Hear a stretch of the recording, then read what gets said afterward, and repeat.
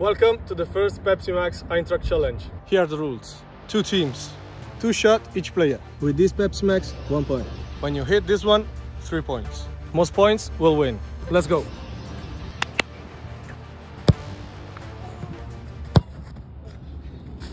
We lost the ball. this is not minus one, no? Yes!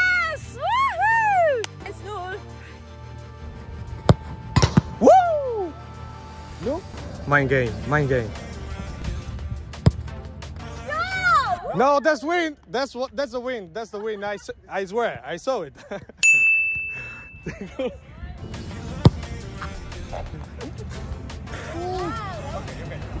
Our tactic wasn't too good.